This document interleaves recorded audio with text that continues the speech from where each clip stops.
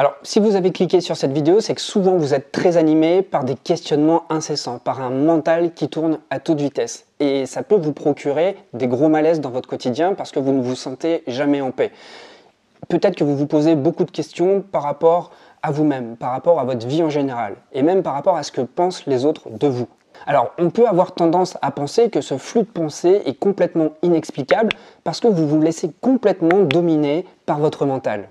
Et à force de vous laisser absorber de cette manière par votre mental, vous pouvez complètement vous perdre dans vos pensées à un tel point que vous pouvez vous demander parfois, mais je, ne sais plus qui je suis. Et avec ce mental agité, on est toujours à la recherche de questions incessantes nous concernant. Et le problème, c'est de ne pas pouvoir extérioriser parce que on a du mal à partager ce, vacarme mental. On ne sait pas vraiment à qui se confier. Donc, on a ce comportement de se refermer sur soi. Et la logique des choses, c'est que plus on se referme sur soi, eh bien, plus on devient confiné avec son problème. Et plus notre problème devient un instrument de cohabitation qui devient de plus en plus grand. Alors voici quelques exemples de questions fréquentes que vous pouvez vous poser. On se compare toujours par rapport aux autres et par rapport à la norme. Lorsque par exemple vous êtes dans la rue ou lorsque vous êtes dans le métro ou dans le train, vous voyez qu'en apparence, les autres ont l'air normaux. On dirait que tout coule sur eux. Alors que vous, le moindre caillou dans votre soulier peut accaparer toute votre attention dans la journée. Alors vous êtes régulièrement dans une recherche de savoir toujours ce qui cloche chez vous. Et vous essayez très souvent de chercher à être autrement. Chercher à être autrement simplement pour être comme les autres, pour laisser les choses couler sur vous. Mais le problème, c'est que vous n'y arrivez pas et vous êtes toujours obsédé euh, pour savoir Qu'est-ce qu'il y a de déséquilibré chez vous Qu'est-ce qui ne fonctionne pas Et donc par conséquent, vous êtes toujours en train de vous inscrire dans un processus de remise en question à un tel point que des fois vous vous éloignez de vous à un tel point que vous ne savez plus qui vous êtes, à force de toujours remettre vos fondamentaux en question. La deuxième question que vous devez vous poser fréquemment également, c'est pourquoi la vie n'est pas si simple pour moi? Peut-être que dans votre quotidien, vous considérez chaque situation comme une épreuve. Aller descendre dans la rue pour aller faire des courses, aller voir des amis parce que vous savez que ça va vous coûter de l'énergie. Du coup, même vos relations, elles peuvent devenir pesantes et très difficiles. Et très souvent, lorsqu'un problème est résolu, un autre problème survient immédiatement. Et c'est un mécanisme qui est incessant. En général, une personne hypersensible, lorsqu'elle est dans ses mauvais jours, elle ne se sent rarement tranquille. Elle se sent jamais en paix avec elle-même.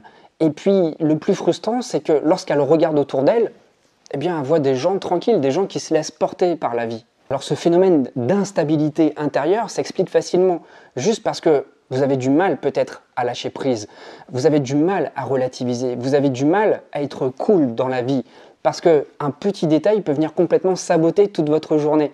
Et c'est justement apprendre à relativiser par rapport à un petit détail et laisser ce petit détail ne pas envahir votre journée qui va vous permettre de prendre de la distance par rapport aux choses et à vous recentrer, à rester focus sur vous, sur votre énergie, sur votre corps et sur vos objectifs et ne pas laisser des petits détails environnement complètement vous absorber. Alors, ça se fait pas tout seul, je le conçois parfaitement, ça demande d'apprendre à se maîtriser. Mais vous n'allez pas y arriver en vous comparant aux autres parce que les autres vont vous donner des indications euh, qui ne vous appartiennent pas, qui vous sont étrangères. C'est leur vie à eux, c'est leur manière de, construire leur monde à eux. D'accord? Vous, ce qui est important, c'est de trouver les ressources en vous. C'est en vous que vous allez réussir à retrouver une stabilité et une solidité intérieure. Et puis une dernière question très typique aussi, c'est pourquoi les gens ne me comprennent pas? À force de vous sentir seul et à force de vous sentir incompris, vous pouvez ressentir cette sensation de ne plus savoir comment vivre, comment savoir vraiment vous positionner par rapport aux événements? Et vous pouvez avoir l'impression d'être un extraterrestre parce que euh, l'écart entre ce que vous, vous ressentez et ce que vous percevez du monde extérieur peut vraiment vous sembler immense. Et donc il peut vraiment y avoir un schisme, un fossé qui se creuse entre vous et les autres à un tel point que vous vous sentiez vraiment trop étrange. Alors hélas, malheureusement, certaines personnes ont recours euh, à des éléments extérieurs, à de la médication, à de la chimie, à de la drogue, à de l'alcool, et elles peuvent sombrer dans des addictions parce que c'est le seul moyen qu'elles ont trouvé pour calmer leur mental pour calmer leur mental et donc pour calmer leur état d'être. Alors évidemment, ce sont des mauvaises habitudes qui sont mises en place. C'est bien dommage parce que vous avez les ressources en vous. Sauf que ces ressources, il faut pouvoir s'y connecter. Je vais venir après, je vais vous expliquer comment vous allez pouvoir vous connecter. On va notamment parler d'ancrage. Mais comme vous pouvez le constater, le cerveau d'une personne hypersensible n'est jamais paisible. Le cerveau d'une personne hypersensible n'est jamais satisfait. Et les pensées ne cessent de se succéder à l'instar d'un train qui passe devant vous avec chaque wagon qui représente une pensée. Vos pensées se succèdent les unes les autres. Ok, très bien. Mais ce qui va vous aider, ce n'est pas de rentrer dans le flux de ce mental, c'est justement d'en prendre conscience. Et prendre conscience, c'est déjà un premier pas pour observer vos pensées passer comme un nuage. Ça va vous permettre de prendre de la distance, de vous ancrer, de comprendre que vous n'êtes pas vos pensées. Vous êtes bien plus que cela. Alors, puisqu'on montre un intérêt très fort pour l'introspection, parce que c'est un comportement bah, qu'on met en place très facilement. Et puis, puisqu'on accorde aussi beaucoup d'importance au questionnement incessant, il y a des bons côtés, parce qu'on a un esprit très vif, on a un esprit très créatif, il y a peu de choses qui nous échappent, on sait très rapidement réagir par rapport à tout ce qui se passe dans notre environnement. C'est une très bonne chose.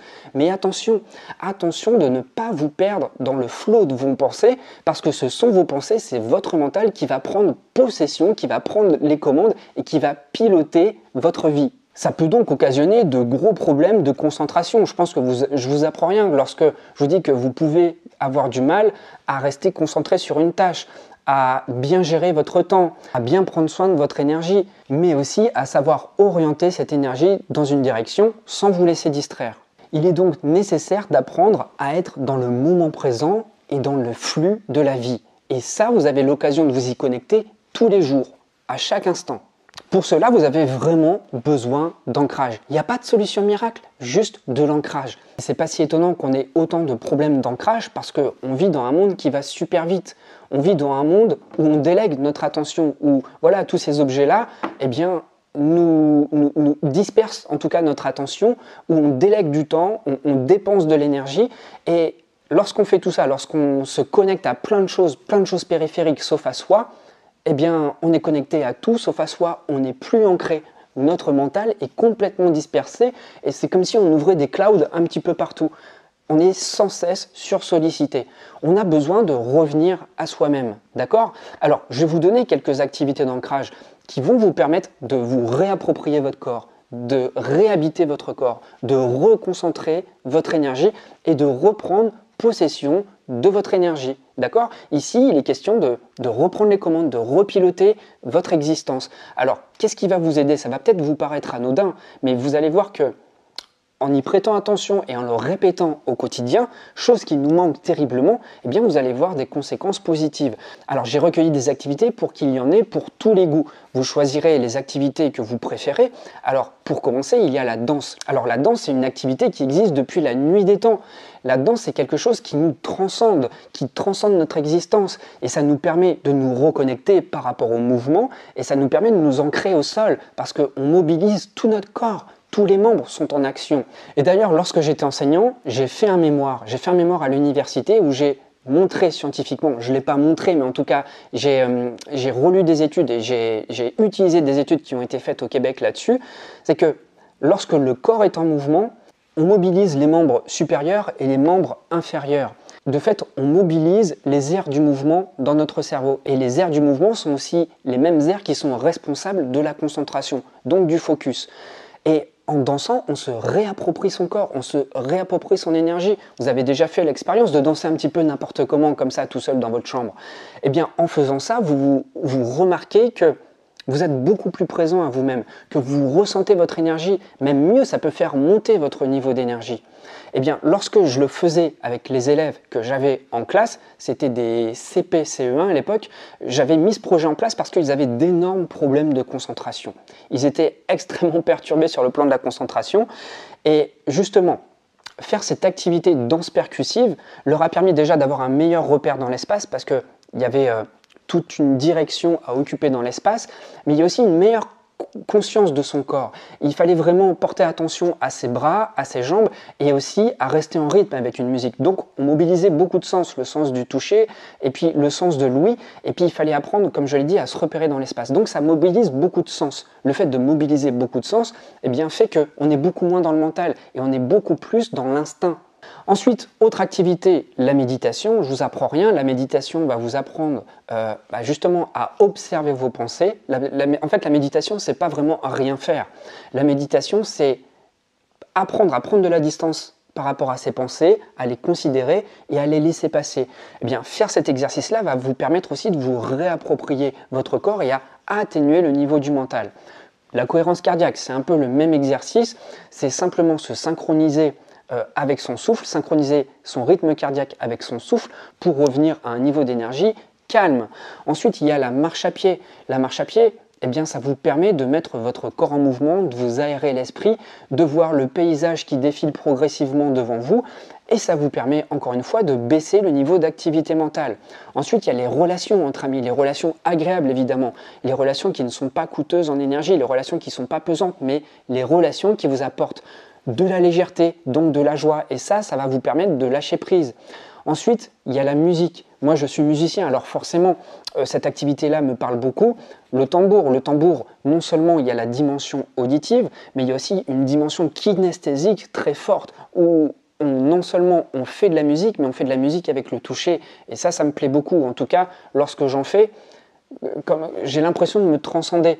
J'ai l'impression de me transcender parce que euh, j'ai l'impression que c'est Steve qui est là, mais c'est quelque chose qui est plus grand que Steve qui joue.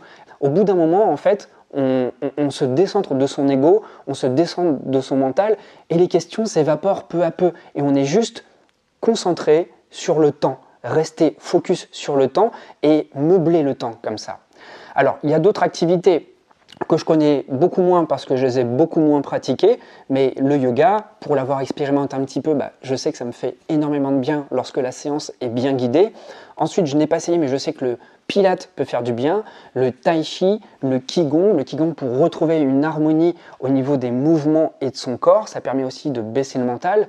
Les massages, les massages ont cette propriété de pouvoir vous relaxer et de sentir aussi chaque centimètre carré de votre corps, sentir chaque point de, chaque point de tension là où on appuie. Donc, si vous pouvez vous offrir ce plaisir-là, n'hésitez pas. Évidemment, le sport va vous aider, je vous apprends rien. Faire la course à pied bah, va vous permettre aussi de vous connecter à votre rythme cardiaque, à votre souffle. Et justement, après le sport, la séance d'étirement est super importante parce que vous allez pouvoir aussi étirer tous vos muscles, ça ressentir les sensations dans chaque muscle. Et puis la dernière chose, et peut-être la plus agréable, si vous êtes accompagné euh, de la personne de votre vie, eh bien c'est de faire l'amour, parce que faire l'amour, évidemment, c'est la plus belle chose qui puisse nous connecter à nous-mêmes et nous faire du bien. Alors en faisant ces exercices d'ancrage, que vont-ils vous apporter comme bénéfice? Bah, Tout d'abord, vous allez avoir moins de pensées et surtout beaucoup moins de pensées négatives. Vous allez retrouver beaucoup plus de positivité dans votre manière de réfléchir. Vous allez vous sentir aussi beaucoup plus en sécurité parce que vous vous êtes réapproprié votre corps et votre énergie. Ensuite, vous allez vous sentir moins angoissé. Vous allez être en meilleure forme et avoir une meilleure énergie. Vous allez évidemment ressentir moins de stress et vous allez davantage vous sentir dans le moment présent, dans le ici et maintenant. Lorsque vous êtes ancré, lorsque vous habitez votre corps, vous vous sentez également à votre place. Vous lâchez prise beaucoup plus facilement. Vous arrivez à accomplir plus facilement des projets sans chercher midi à 14h. Vous allez droit au but et vous n'essayez pas toujours de prendre des itinéraires tortueux. Évidemment, vous êtes davantage dans l'acceptation de la vie sans essayer de lui résister. Vous êtes davantage dans l'accueil. Alors pour être dans l'accueil, pour que les choses soient plus fluides, pour que les choses coulent sur vous et que vous, vous soyez cool, faites cet effort de, vous investir dans des activités d'ancrage. Et quand je dis effort, c'est juste, ça va se transformer en plaisir parce que vous allez vous rendre compte qu'au bout d'un moment, ça va devenir un besoin. Ce plaisir va devenir un besoin et ce besoin va générer du plaisir. Ça va générer plus d'ancrage, plus d'enracinement et vous allez avoir l'impression de maîtriser votre attention, de maîtriser vos forces, de maîtriser votre mental et de maîtriser votre énergie. Il s'agit tout simplement d'être plus présent à soi. Alors si vous souhaitez qu'on aille plus loin et qu'on travaille en profondeur sur votre problématique, je vous conseille simplement de réserver un coaching. C'est le lien dans la description qui est juste en dessous de la vidéo. Vous avez juste à réserver votre séance. Et puis moi, je reviens très rapidement dans les heures qui suivent pour vous proposer trois créneaux. Vous choisissez le créneau que vous préférez et ensuite on se verra en visio sur Zoom pour travailler en profondeur sur une problématique que vous avez qui vous est spécifique et on trouvera des solutions évidemment adaptées. Voilà, bah, je vous remercie beaucoup d'avoir écouté cette vidéo. J'espère qu'elle vous aura apporté des éclairages importants sur votre manière de fonctionner et peut-être même des solutions que vous allez pouvoir commencer à mettre en place. L'idée ici, c'est de vraiment se reconnecter à son corps pour ressentir le présent et être bien avec soi ici et maintenant. Je vous remercie beaucoup, je vous dis à très vite et peut-être dans les commentaires. Prenez bien soin de vous.